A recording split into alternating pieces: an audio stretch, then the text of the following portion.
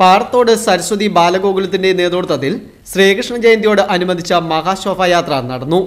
H Y M A മന്ദിരത്തിൽ നിന്നും ആരംഭിച്ച ശോഭായാത്ര ഗ്രാമവീഥികളെ അമ്പാടിയാക്കിക്കൊണ്ട് ചിറഭാഗം ശ്രീ ഭുവനേശ്വരി ക്ഷേത്ര സന്നിധിയിൽ സമാപിച്ചു. News bureau Mundakayam. ഭഗവത് നാമത്തിൽ വിനയവിധേയമായി അഭ്യർത്ഥിക്കുകയാണ്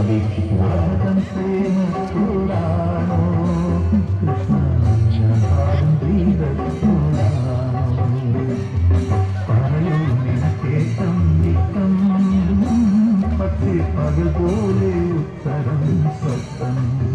ഭാരതം എന്ന രാഷ്ട്രബോധത്തിന്റെ ദേശാന്തര ഭാവങ്ങളിൽ ഒന്നാണ് മലയാളം.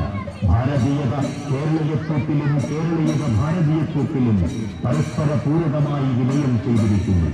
ഈ രണ്ട് ബോധങ്ങളെ കൂട്ടിയിളക്കുന്ന ചേതനയാണ് ശ്രീകൃഷ്ണന്റെ ജന്മാഷ്ടമി.